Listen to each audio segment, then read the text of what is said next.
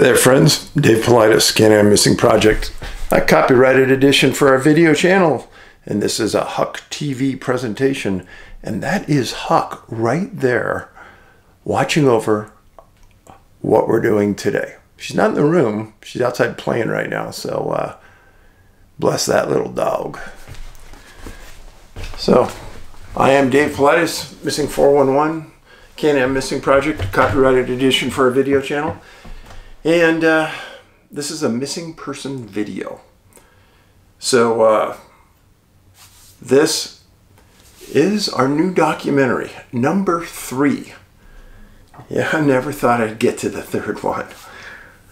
But this one is quite different than others you've seen in the past. Our first documentary, Missing 411, was about a series of missing kids who disappeared in the wild.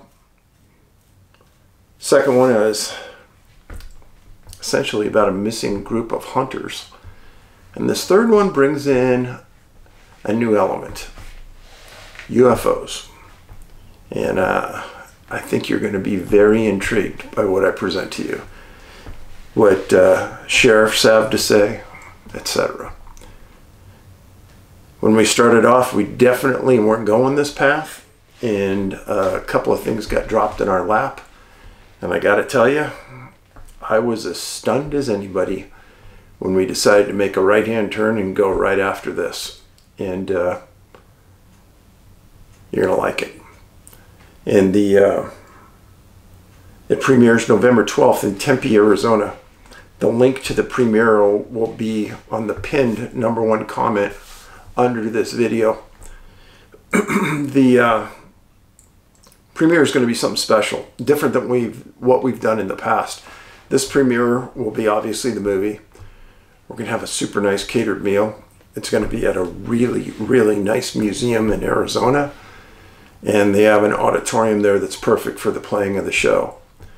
We'll take a little break, we'll reconvene, and then we're going to interview some people that are going to blow your socks off about what they have to say about this topic. And I'm literally, they will blow your socks off. So, there is not going to be a live feed on this. Uh, the movie will premiere November 15th to the public. And it'll be probably video on demand and we'll also be selling DVDs. Exciting times ahead, folks. It's going to really shake up this world. There are no this isn't footage that nobody's ever seen. This is all original footage that we put together for this. So, uh, thanks for hanging in there. Sales of tickets to the premiere have blown our socks off. So, if you want to get a ticket, I suggest you do it soon. but this is the biggest auditorium we could find for doing something like this that really fit our needs. So it, it'll be a huge crowd compared to our first two premieres, which is pretty exciting to us. So, on to the missing persons episode for today.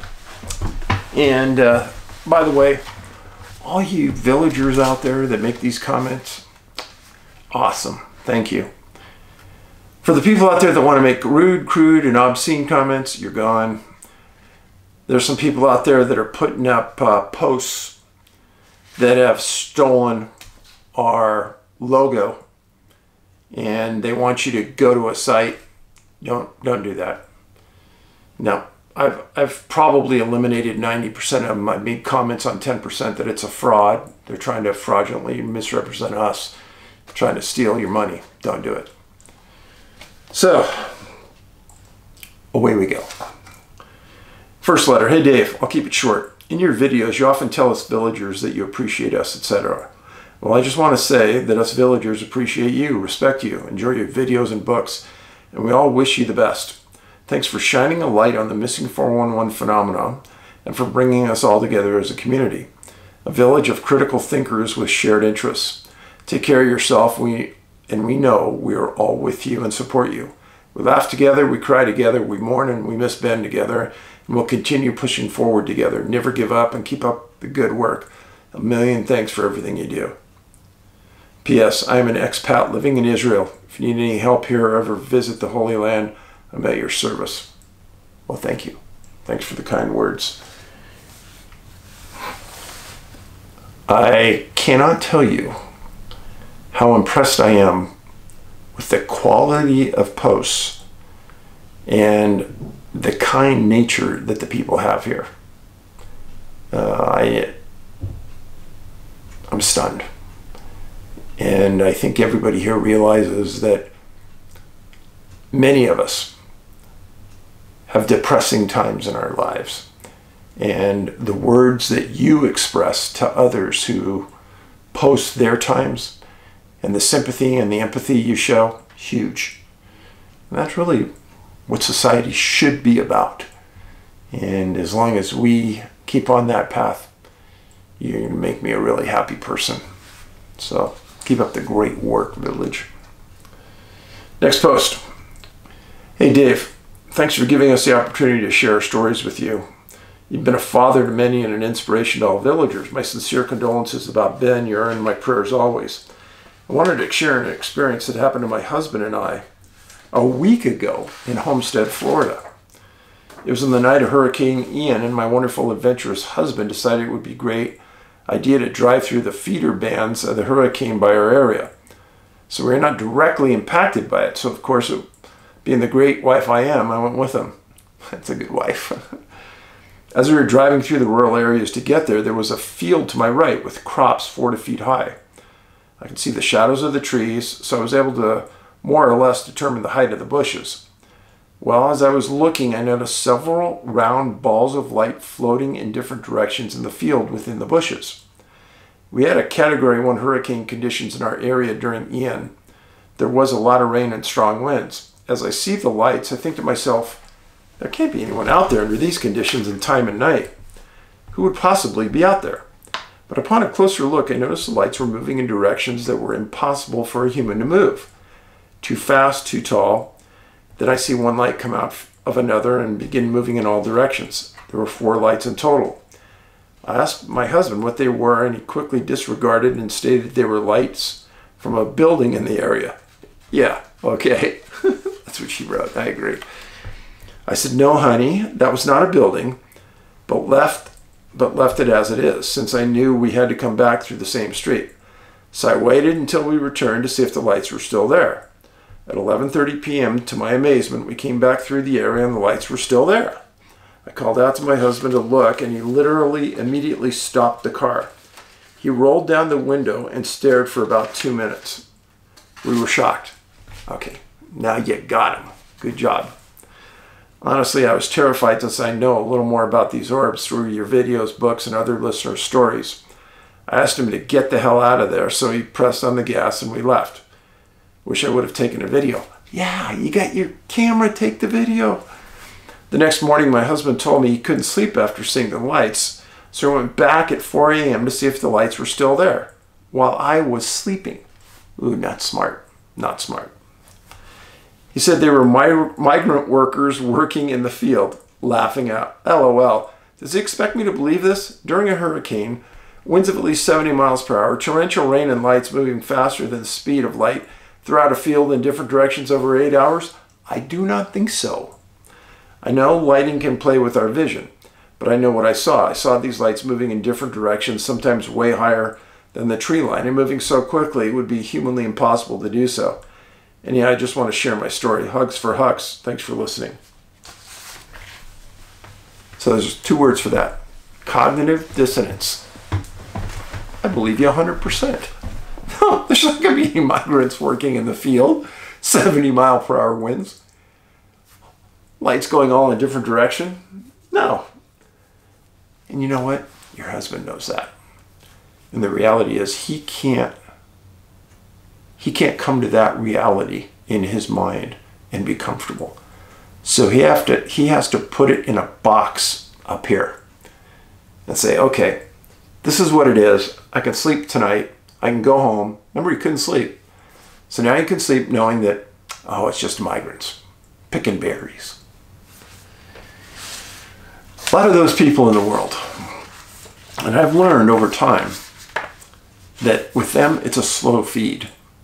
They'll get there, but it's going to take a long, longer period of time than most. And if you get them there too quickly, they'll just shut you down. Like he had to go back alone. And he had to go through it, the steps by himself. Don't get frustrated with him. Next letter. I wasn't going to waste my time writing into the wind, but now I know you'll read this, so here's the story. I live in hot and sunny Chandler, Arizona. in 2007, I became friends with an old girlfriend I hadn't seen in 13 ish years. I was 22, she was 19 when we dated. 13 years later, and she had served in the Army, gotten two master's degrees and a bachelor or two, mathematics and science-based studies. She was currently at the time going for a PhD in physics and chemistry. I can't remember at a university in southeast U.S. state, but her passion was photography. She was a six foot two redhead from Holland, spoke five languages. Wow. Angry, depressed, and suicidal. Wow. I've included that information because she hits a few 411 buckets, albeit this is not a 411 case, but smells like it. Maybe almost could have been. Around 2009, she called me to say she was killing herself. I called her local law enforcement three time zones away and they got her in time. Because I did that, she was furious with me and didn't answer my weekly, Are you okay? calls for months. But eventually she did. We became friends again. Good. It was about two years later, 2011 or so. She'd walked away from everything, moved to Seattle to follow her passion. She was a full bore photographer. Her depression was cre- creeping back in and needed a change. What's the opposite of Seattle? In 2012, she decided to give Arizona another go. I still lived here and had a bunch of friends who I thought she'd get along with. Help her get out of her funk by getting out and doing stuff. Packed everything up and took her time driving down, stopping to take a few pictures here and there. When she got down here and got settled in, she uploaded them to her Mac. She went through all of them, kept the good ones, edited some, make a calendar, sell the prints, random pictures transitioning from the rainforest to the desert. Somewhere in Northern California, in 2012 at a rest stop, one night she took this random picture in the woods. Told me she found something in one of her pictures and e- emailed me the pictures. I'm emailing, emailing them to you. We call it the demon. And I've got the pictures for you. So, this is the first picture that was sent. Now, um, I'll be. this is a tough one, tough one to see anything. Pillar here, some trees here. Really can't see anything. So then we go to picture number two that he sent. This is a close-up of the other picture. Remember I told you the tree. Now, you're starting to get the idea here. Something weird is going on. Focus right there. See the two eyes. With me?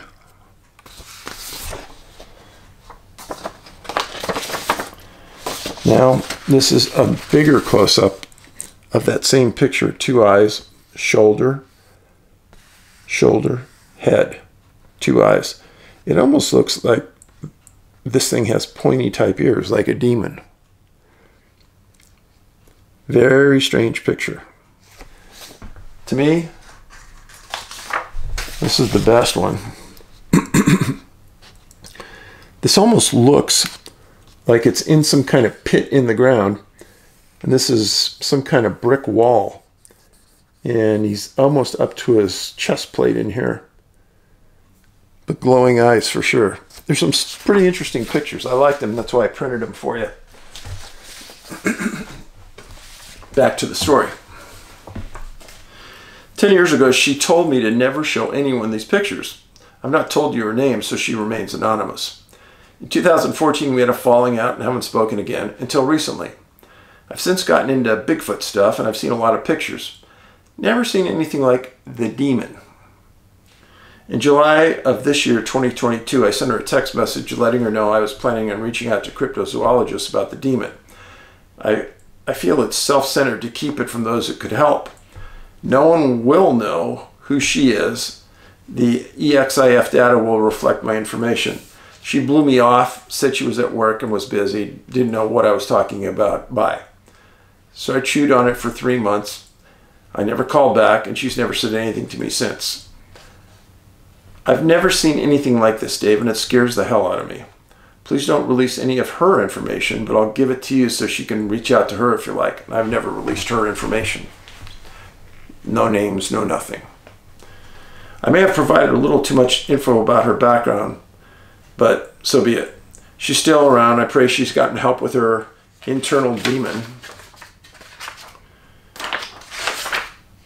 Thanks for listening. Well, what do you think? Don't think it's Bigfoot. Could could be some other kind of cryptid creature. I've never seen pointing ears on a Bigfoot. Usually the ears are very, very small and subtle. But uh, glowing eyes I've heard of before. Don't know. It's a good one though. Next letter. Hey Dave, I'm going to try to make this as short as I can because I know how precious your time is. So before I go on, I get a lot of letters. A lot of letters. If I get a whole page with no paragraphs, I'm not even reading it. It's too hard to read. Spend some time going through it, breaking it up so there's breaks there, punctuation, etc. So it makes it easier on me. I've been sober for almost five years now from alcohol and drugs, and in that time, my spiritual outlook has evolved into a personal relationship with Jesus Christ. Congratulations. When I was in active addiction, I was as far distant from God's love as possible. I suffered from unbearable sleep paralysis, in which I had physical proof of attacks from these shadow demons. It climaxed when the biggest demon jumped on top of me and began choking me because I would commit suicide like it commanded me to do so. I began to call out Jesus' name because I knew I had no hope of surviving other than with him. Because I was in sleep paralysis, that was extremely hard to do, but eventually I managed to get the demon to leave me. When I ran to the bathroom to look at my neck, I woke up my mom with my scrambling. She was shocked and scared by the marks around my neck that showed a four-finger hand twice the size of mine. I was blessed by my priest and got sober, and since have never experienced this phenomenon again. Awesome. Now, on to the truly special story I want to share with you. Friends, this one is good. Two weeks ago, I got home from work and took my dog for her nightly walk. She did her thing, and I knew she was good for the night. About an hour later, my 16 year old poodle terrier mix named Snooky began to bark and paw at me that she needed to go outside. I knew she didn't, so I blew her off. She became more and more agitated until I finally broke down 10 minutes later and took her out. Since our last walk, it, has, it had began to rain, and when it was raining, my dog refuses to go out for a walk. I, I've had some dogs like that. I thought once she saw it was raining, she would calm down, and once for all, I was wrong. When she stepped outside, she began to hurriedly pull me down the street despite the rain. I couldn't understand it. My dog doesn't walk in the rain. Not only that, but she was pulling me so fast as, and was in such a hurry, she never stopped once to sniff, which always made me wonder what was up. Why was she so obsessed? As we turned the corner five blocks away, we came upon a homeless man robbing a guy lying on the ground. I knocked the homeless guy off the man on the ground and called 911 because the guy was unconscious. Thank you, sir, for stepping in and being a great citizen. After talking to the operator, I noticed the guy's lips were blue and I saw he wasn't breathing. Then I saw a used syringe under the car he was next to. It didn't take me long to figure out this guy overdosed as he was getting out of the car. I immediately began to do mouth to mouth and give chest compressions until I finally got him barely breathing by the time ambulance got there. They hit him twice with Narcan before he came to. The one medic told me I saved the guy's life. I humbly told her I didn't save him, that it was my dog Snooky who was the hero. The medic was amazed by the story, and as she was walking away, I ran up to her and gave her my name and number to give to the man so that if he wanted to help getting sober, I was willing to help him. Now that is a great gesture right there. You made it, but now you can help others because of the history and experience you have. As a dog owner, you know your dog's behavior. For my dog to want to go out in the rain and not stop to sniff even once is beyond me. She took me right to the overdose man. In my humble opinion, Dave, I cannot contribute anything other than the intervention of God to this story.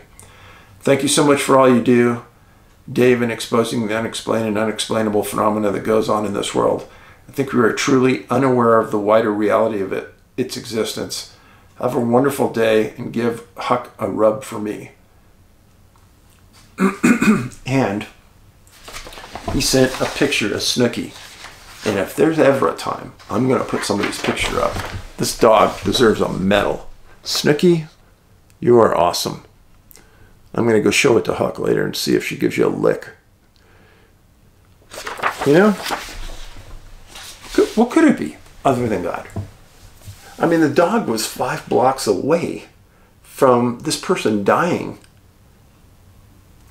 And then some people would say, well, you know, it was just a fluke and the dog just happened to find. No, I don't buy that. Not five, six blocks away. Not in the rain. Something was up. I hope that person that you saved will contact you. Next letter. Hey, Dave.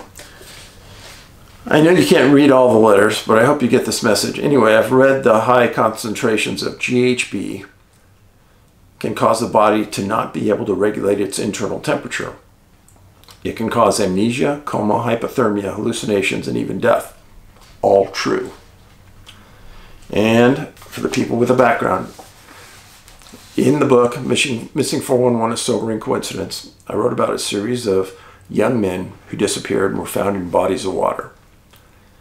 In one case, the coroner came back and said a bunch of hocus pocus, and he, the boy, the young man drowned. That's what they said. Parents didn't believe it. They went out and they got a secondary autopsy. And in that secondary autopsy, they tested for, I think, 100 different drugs, whereas the coroner only tests for 24. It's the same everywhere. It costs a lot of money to test for these. And so they figure the top 24 are most conventional, and that's what they go for. Well, in the secondary autopsy, in several of these cases, they found super high levels of GHB that couldn't be explained to be in the body.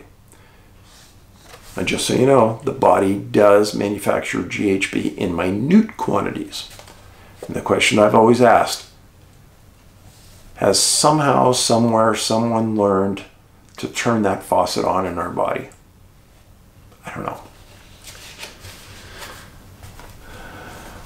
So it would seem that it would explain quite a bit about what occurs in your research missing clothing, unexplained death, amnesia, what sounds like possible hallucinations when people are actually found, and try to explain what they think happened.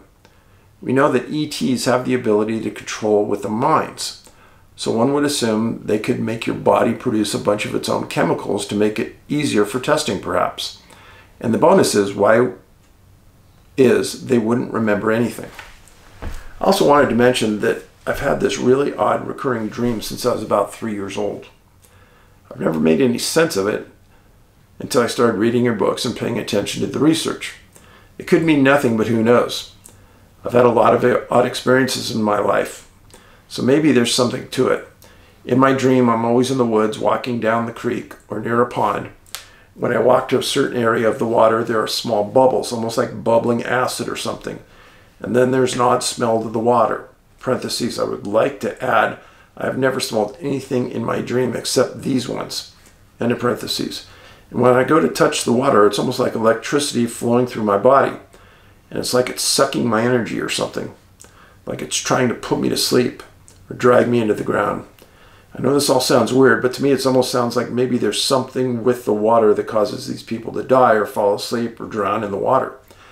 The smell, the best I can describe, is like opening a bottle of aspirin. I hope maybe you can gather something out of this. If you have any other questions about my experiences there that are not in this email, let me know. I appreciate all your work. Thanks for what you're doing. Never heard anything quite like that. That's why I read the stories. Maybe it'll unleash, unlock a memory in somebody out there. Next one, Dave. For a number of years, I've heard it explained that when food is placed as bait for the Sasquatch and the camera fails to record any activity, but the food seemingly disappears, it may be that the Sasquatch is able to control time and space in order to get the food without being recorded. The question would be why do I need to get food this way if I can control space and time? If I can control space and time, why would I even need food? It would be pointless.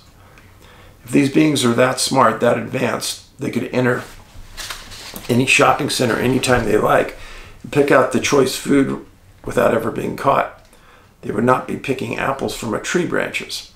Again, if these beings can control space and time, they would simply go back in time 10,000 years and pick up a few aurochs to reestablish the original cattle lines. But instead, we have multitudes of cattle mutilations that draw unwanted attention if these beings care about anonymity. They do not they don't ask permission. They don't explain their purpose. They don't care what damage they cause the rancher. They waste what they touch. A missing part of an animal does not mean it is important to the beings, who supposedly are so very advanced yet can't even be bothered to act any differently than other predators who kill, destroy, and waste. Their activity seems more like a diversion or a distraction. Let me stop there. He made it a point in here in saying that they waste the animal. What if that animal is poisonous to us at some level? What if they're saving our life? What if they've tested that animal or an entire herd earlier and now they're coming back to take out the ones that are bad? You got to think outside the box. Humanizing the principles, conduct, or practice of something not human is unwise, even if these beings seem advanced beyond our understanding. The one thing that makes man stand out is love. I do not claim that many of mankind's many of mankind understand what love is, but it is not in any way evident in these various beings' activities. Thanks, David. It's good to see you with a smile and a heart of love still for Ben and what is right and good. May you have many more smiles. Thank you. Some days aren't a lot of smiles. Okay, next letter. I rewatched your recent September 11th, 2022 YouTube video with discussion of the Indian Lake region of the Adirondacks in upstate New York. I believe you would find this particularly obscure article of note. I've read a couple of your books, Eastern U.S. and Hunters, and I've watched both your movies. I applaud you for your research and commitment to it. It is clear that you are truly passionate about the work you do. It also shows you have a great courage to conduct it, especially with your law enforcement background. I am a New York State trooper, and my experience is that law enforcement community as a whole generally doesn't bear a reputation for open-minded free thinking or discussion of fringe topics. You are right, sir. I think I've told you that in my high school class, think there were 500 of us uh, 12 became sheriffs or police officers. We're all pretty, pretty close. Of those 12, only one of them really follows my work. And one of them is actually going to be at the premiere. So, but that's okay. I don't want to force feed it to anybody. If they want to walk around with blinders on, that's fine with me. And he goes on, but there are still some of us every so often who subscribe to the great quote Minds are like parachutes. They work best when open. Ka-ching. Thanks for that. to give you some background, I grew up in Hamilton County, New York, the same county Indian Lake is located. Many years ago, I participated in a search with New York State DEC while on a search team 5-1 for a missing person, Jack Coloni, who disappeared from within the Cedar River flow, Moose River Plains of Indian Lake, which happens to have a large body of water which happens to be a story I've written about. I remember from the search how bloodhounds, helicopters, and days of searching yield absolutely nothing. I also remember how Coloni's campsite with picnic table set His vehicle and everything else was set up like he just vanished into thin air, and it, and it has always struck with me, stuck with me. Many years later, when I worked at the Indian Lake area as a state trooper, I noticed that one of the locals had a metal UFO sculpture in his front yard, visible from Route 30. I thought it was odd, especially given the number of missing people from the surrounding area, and I began to search around for what the backstory was. The search led me to this article. The incident described in this article occurred in the same camping area as Jack, but many years before. I checked with a few Hamilton County Sheriff's Department dispatchers, longtime Hamilton County residents, and they confirmed that they knew the trooper in the article and the forest ranger. Don't mind the email. It says it's from blankety blank. When you're in law enforcement, you tend to be privacy oriented and don't always want your name out there with an email account. If you have any questions or you'd like more info, I can always provide my phone number and send you an email from my work account to verify my employment. I'm not going to say who it was. Anyhow, the story was the incident at Indian Lake. And what it's about, there's a group of campers there that saw a series of UFOs over Indian Lake at night. I've known about it for a long time. It's a really good story. Look it up online. The incident at Indian Lake. It's a good one. And uh, Mr. State Trooper, thanks for sending that in. I appreciate it. Keep in touch. And believe it or not, there's a lot of law enforcement guys and ladies that watch this, and I get emails from them all the time. Dispatchers, paramedics, and uh, even National Forest Park Rangers. Yes, I won't give you up, but I, I appreciate your notes and your support and your honesty about your organization. And uh, there's several of you out there that know that the National Park Service isn't the most transparent group in the world. I'll leave it at that. So, the first case, it's interesting one to me. The man's name was Con van Alstyne. Con, C-O-N, Van Alstyne. Didn't know the age, but he went missing November 25th, 1921 and he'd been a 30 year old prospector on the Alaska Yukon border. Uh, he went missing in an area called Eagle, Alaska, right on the border. And he was working in an area called Mission Creek. Let me show you a map of the area here. So, pretty famous place, Dawson City in the Yukon. And then this is the border, Yukon and Alaska.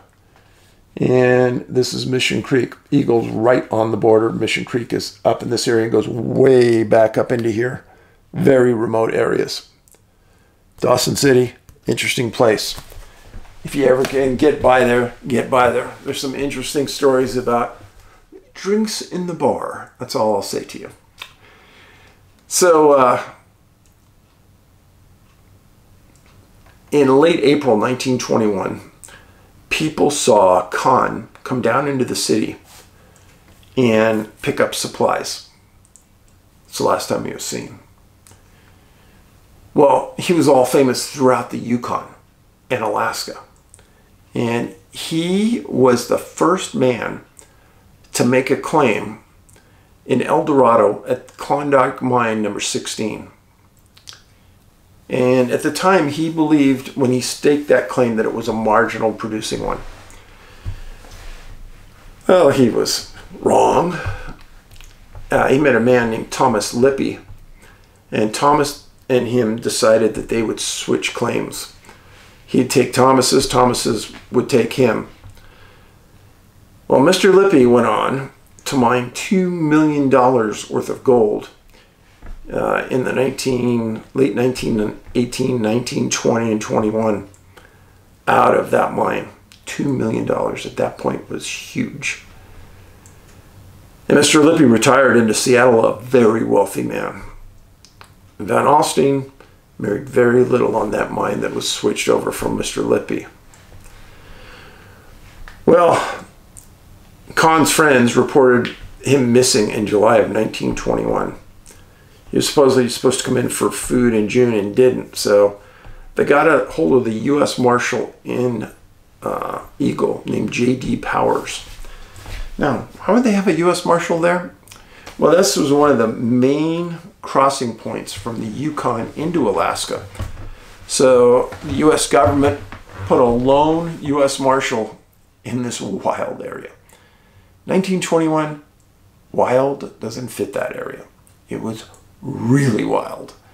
Uh, and then the place where Con on Mission Creek had his camp and mine was really wild. And even today, in the upper reaches of Mission Creek, it's really wild.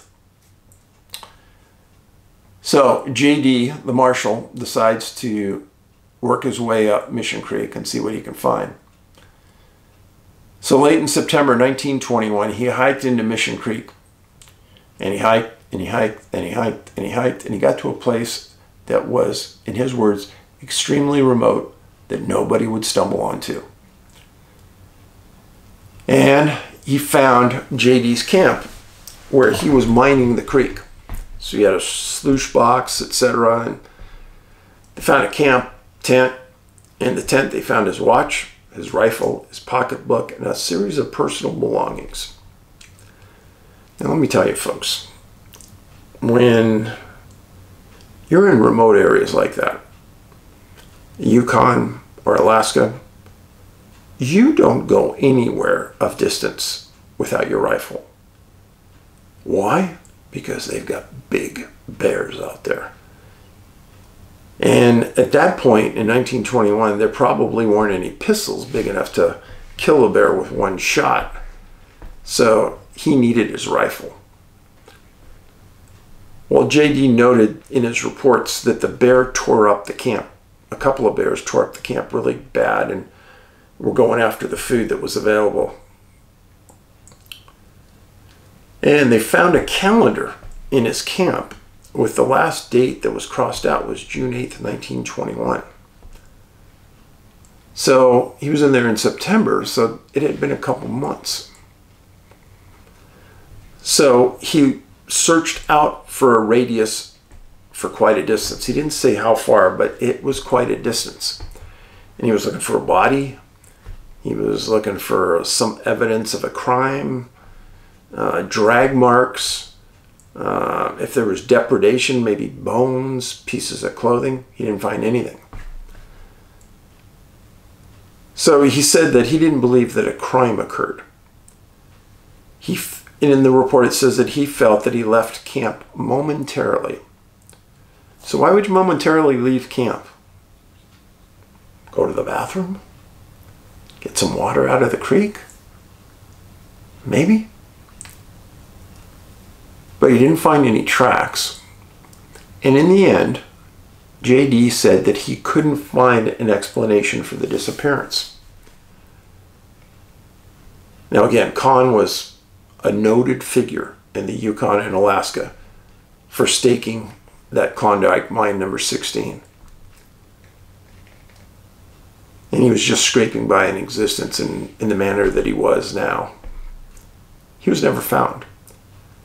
And that area got a reputation of being pretty spooky.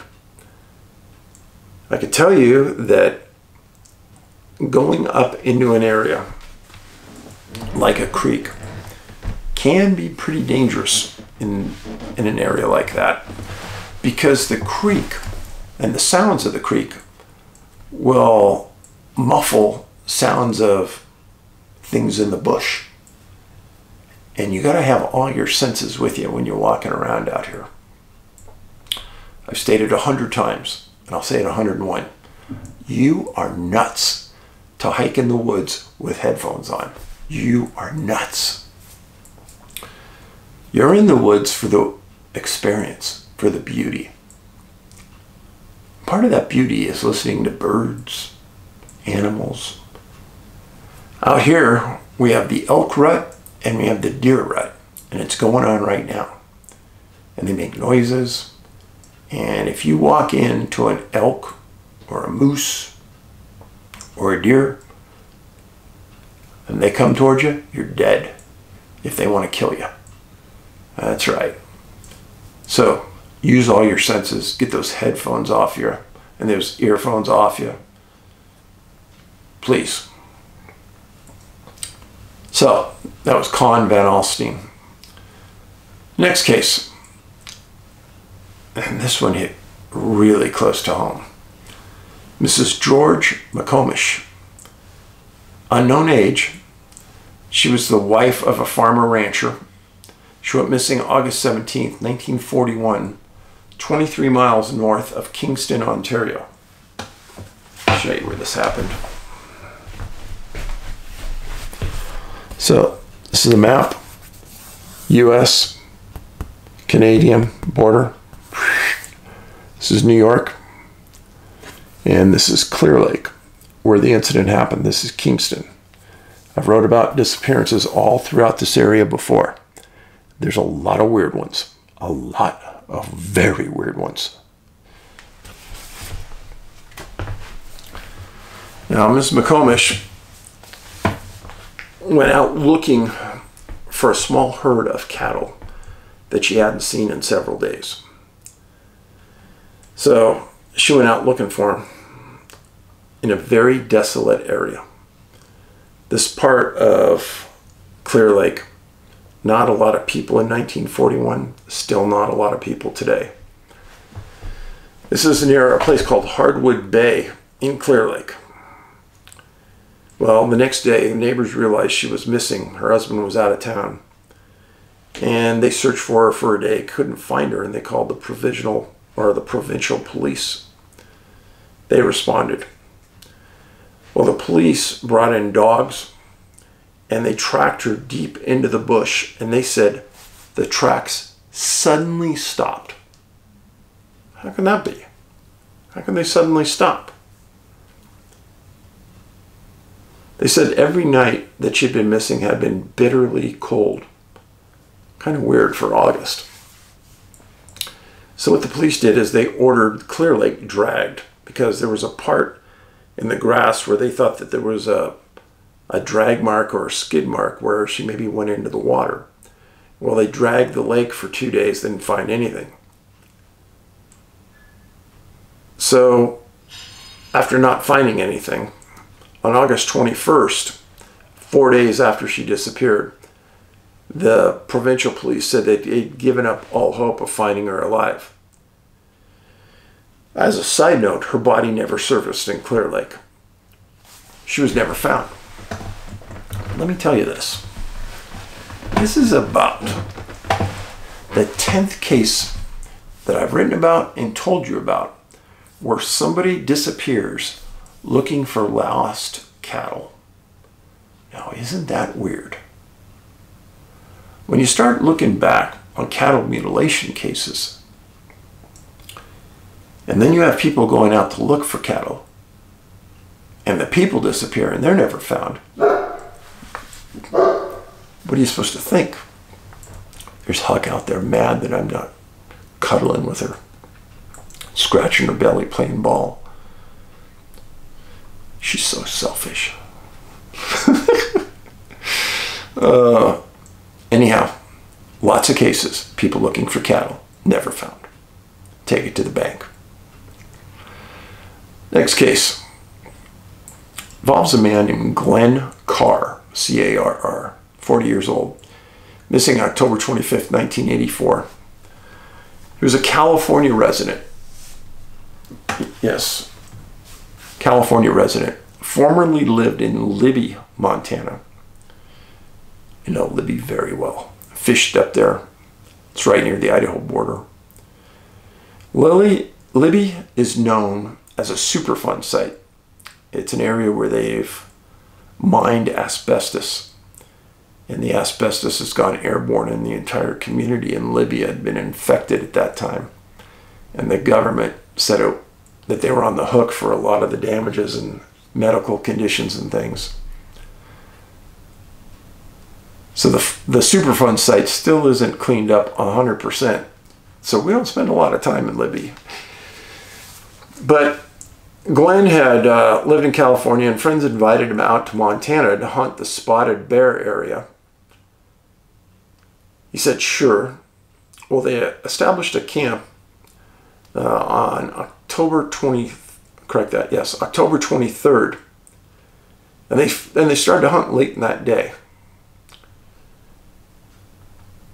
He made it back to camp.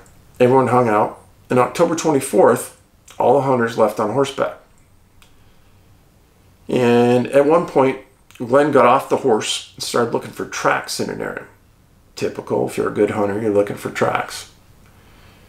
He had his horse tied up. And he was walking and walking and walking, and one thing led to another. And he had walked a long ways from the horse, and he knew exactly where he was. So he just walked back to camp and said, Yeah, I'd get the horse in the morning. It was a big horse. And we have some huge horses here in Montana that the bears will not mess with. So he arrived late, ate dinner, said he was going to get up early and go get the horse the next morning. November 25th, or October 25th. He rose early and he told his friends he'd be back and uh, he was going to get the horse. He thought it was about a 30 minute trip out. Now, the camp was very near the Spotted Bear Ranger Station. And I'll tell you about that in a second. I'll show you a map. Well, late on the 25th, Glen hadn't returned. And the only communication in the area was at the Diamond R Ranch, which had communication system. So his hunter bunnies went to the Diamond R and they contacted the Flathead County Sheriff. And Sheriff Chuck Rhodes came out and started the search procedure. And about the time they started searching, wind and snow hit the area. And over the next couple days, they got four to eight feet of snow. So let me give you this map here. If you have watched my videos in the recent past, I did one the other day on a news segment where I was at the head of Hungry Horse Reservoir up in this area looking south. Hungry Horse Reservoir ends right here. This is the south fork of the Flathead that flows into the reservoir. Diamond R Ranch is right here. Their camp was right here. And this is a place called the Spotted Bear Lookout. So,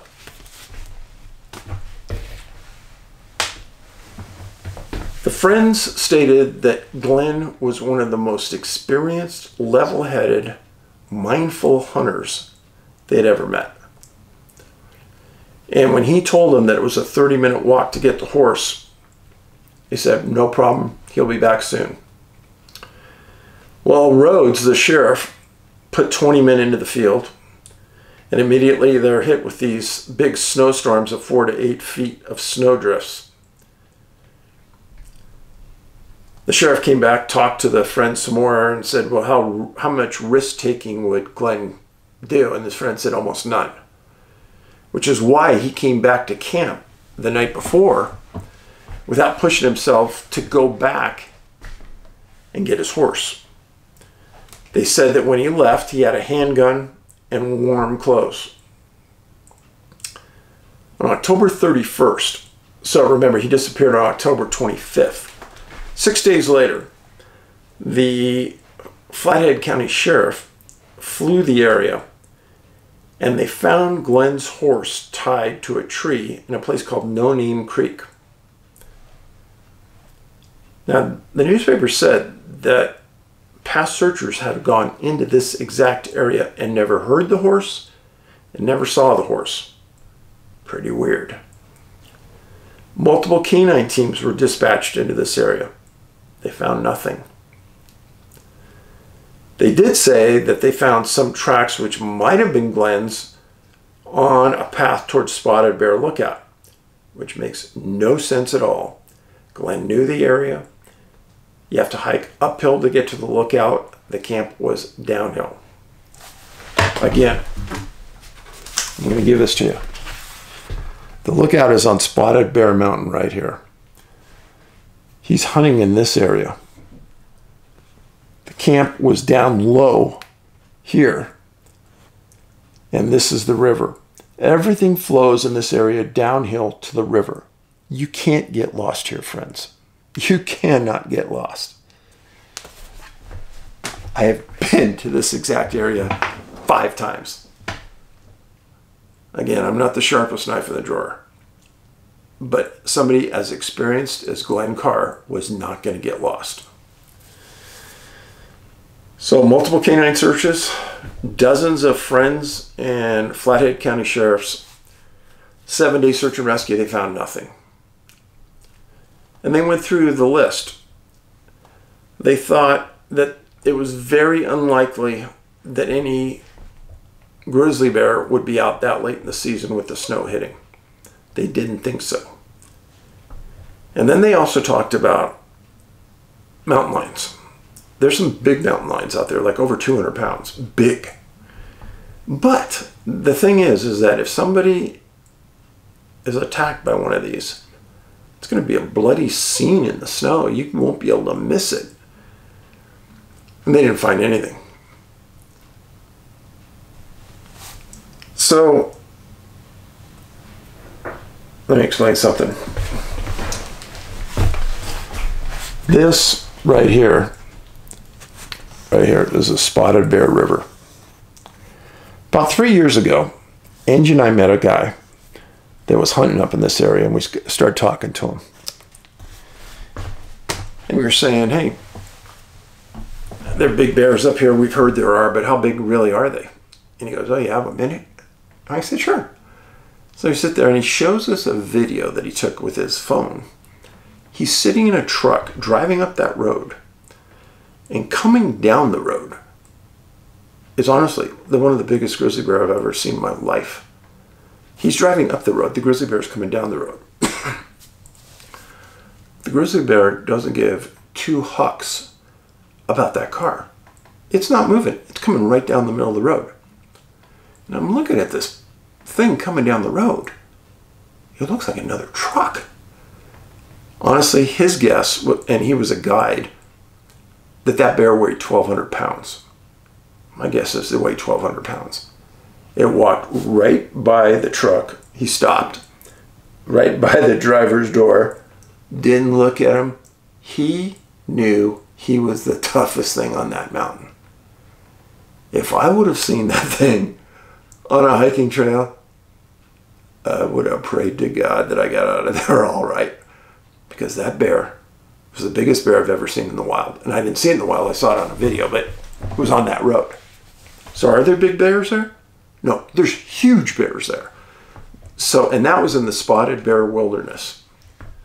And then the area where Glen disappeared, just a little bit further south, is where it even gets more wild because there's no roads. There's nothing. And uh, yeah. But they did a seven day search and they couldn't find Glen. The sheriff was asked for an explanation about how they could find the horse. But they couldn't find him. The sheriff had no explanation. Does this case sound kind of familiar to you? Remember in past cases I've talked to you about? Case in Alaska where a man was coming back to camp, left his food, left what he killed in a backpack, said he'd come back the next morning, slept, went back the next day, disappeared, food was never touched. Eerily familiar circumstances. That was, I told you about that case maybe a week and a half ago, two weeks ago, on this channel. You can go back and watch it. The point is, point of separation. He's with all those hunters and he separates and something happens. Now, does that mean that while he's with the horse, he's safe? I don't know. It's very odd. Uh, remember, I told you that some of the horses you see up here are what's called draft horses. And they're huge. Angie and I went on a ride at the beginning of summer, and we were on some. And they're like gentle giants. And the guides we were with, we asked them, I said, hey, what do these horses act like when they see a bear? He goes, oh, they don't give two hucks. They just look at the bear. The bear looks at them and says, I don't want anything to do with that horse, and moves on. I said, Oh, that's comforting. I don't want to be on this horse and it to turn and run like uh, a stallion. He goes, Nah, they don't do that. So, had a nice calm ride. But uh, yeah, draft horses. They're big up here. And uh, it's almost a guarantee that that's what Glen had. And that's why he felt safe just leaving it tied to a tree for the night. But it is interesting that flyover by air finds the horse, but the guys on the ground walked right by it, didn't see it, and the horse didn't make any noise, which is really weird. So there's three cases and some really good stories and some really good pictures. So I appreciate you guys sending those in. Um, again, this this documentary is going to shake up the UFO world and the hunting world. I guarantee it. Some people have said, oh, that UFO in that picture, Dave, over your shoulder is really a, a super secret government spy plane.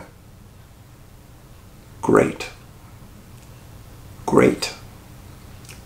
Because once you understand how this plays into everything I'm explaining, you won't believe it. So, hope you can make the premiere. If you can't, Tempe, Arizona, November 12th. If you can't, then uh, the movie will be released November 15th, probably on several platforms. It's like every other documentary. I don't have the horsepower to get it into theaters, and honestly, I don't know if I have the willpower or the energy to work it that much harder. Normal documentary has taken us 12 to 14 months. This is three plus years. Everything imaginable that could happen has happened. So there's a lot of bad karma around this film, and a lot of people who have been intimately involved have said, Dave, it's like certain entities do not want this to come out. Maybe. Very odd. Very odd. So, before I go, today I was at the store and there were a couple of really old people in front of me. And this one older lady was having a real tough time getting through this door. She was ahead of me. So I jumped around everybody, held the door open, helped her out with the cart. And she looked at me and she said, Wow, thank you, sir. Now she's probably, I don't know, 20 years older than me. Well, thank you, sir. I said, No, thank you. Said, uh, If I could help you, I will. And boy, that lady had the biggest smile in the world. And those little acts of kindness go so many miles towards fueling your soul.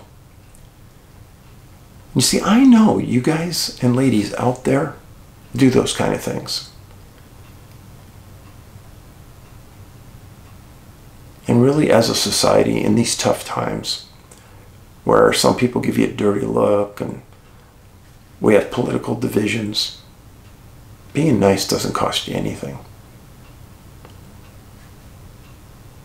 Thanks for being here.